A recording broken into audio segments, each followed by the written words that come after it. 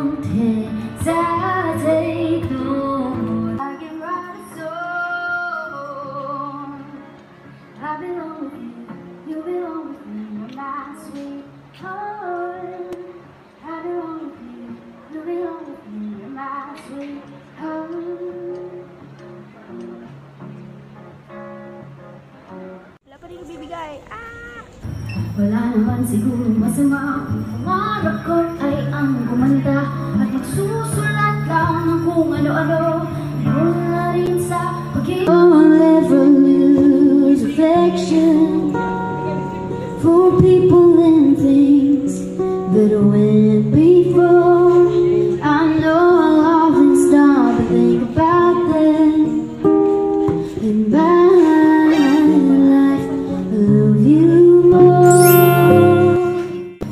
excuse me. Um, excuse me. Sorry,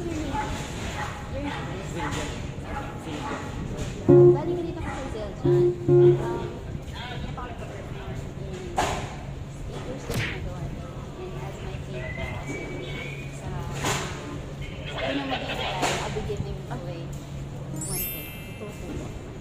Sure. Ito, hindi naman kita hinihintay. Ikaw pala. Ha?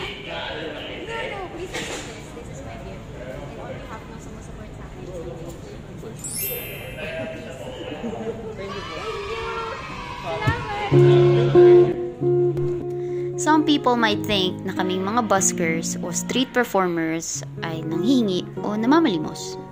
Pero ang di nila alam, what we are giving is priceless. That's it for today! Woo!